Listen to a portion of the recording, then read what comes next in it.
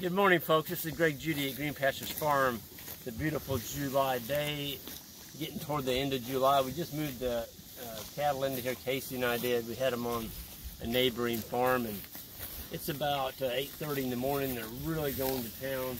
But if you look at the cattle, they're not limited. If you look for the death triangle on the hip bone, all the cows are full. So they're just filling up more, okay? That's how you get fat cattle. They come in the paddock, they're full, and then they actually start eating again. Um, this this farm's got a unique history to it. Um, it was idle since uh, the 70s. Uh, matter of fact, even before that, there hasn't been any livestock on this farm probably for around 60, 70 years. And uh, we got the lease on it three years ago and didn't have any fence, didn't have but one pond on it. And uh, it was pretty rough shape. The cedar, the eastern red cedar, taken all this. And so we came in and cut all the cedars and removed them, and you can see what we did with the logs right here. Uh, we've got probably, I don't know, 50 to 100 logs. Those are going to be milled on our sawmill, so we're going to get a lot of nice eastern red cedar. But we opened this up, and we fed hay in here now for three three winters in a row. We've unrolled hay in here. And look at the forage out here. I mean, it is unbelievably beautiful. The cattle are all packed around our mineral feeder over there because we, we held the mineral away from them for two days, well, about a day and a half because the rough terrain we were in, we just couldn't get the mineral feeder in there. As you can tell when you hold it away from them how they go after it. That is a, a 16 hole mineral, it's cafeteria style, and they can select exactly what they're missing from that mineral feeder, and they poop the they poop about 80% of their mineral back onto the paddock. So we call this herd a traveling laboratory. And we're going to get a little closer look at it. It's kind of hard to tell what they're doing right here, but you get up there and look at them, it's got a it's got a big rubber top on it. And uh, so when they when they lift up that flap, there's six there's eight eight holes. Come on, yeah, they go. There, there's eight holes in there. Come on, girl. And they can actually pick that up and select exactly which one they want. How cool is that?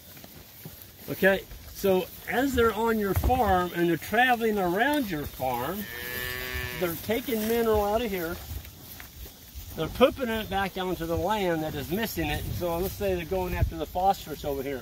They're going to poop that phosphorus back out on the land where it's missing. And over time, they will remineralize your farm exactly what's missing.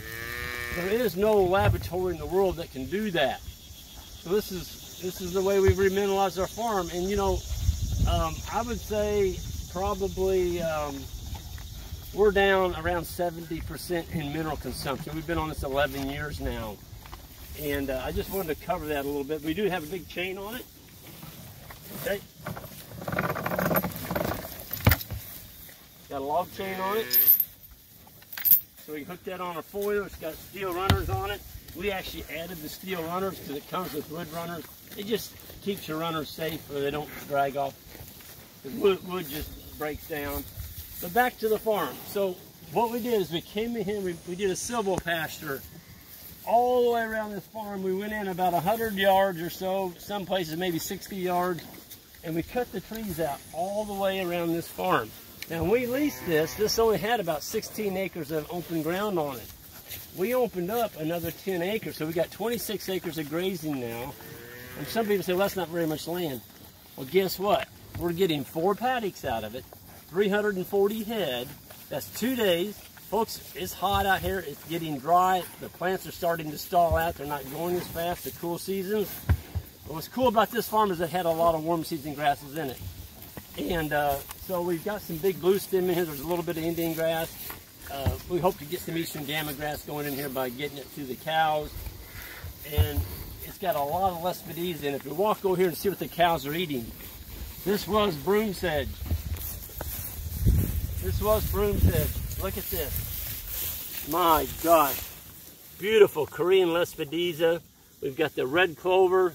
Some of it's actually got a black seed head on it. The cows are going to plant that on the ground. We're going to have more clover next year. They're just getting a really good diet out there, folks. They're just getting what they need. And you can tell by looking at the cattle how slick they are. They're, they're getting they're getting everything they need. I mean, look at this little heifer right here. I mean, does she look like she's not getting everything she needs? It's just unbelievable. The cows are harvesting the energy off of this strip of grass. We've got a pond over the hill, fenced off. They can't get in it because the landowner likes to fish. I do too.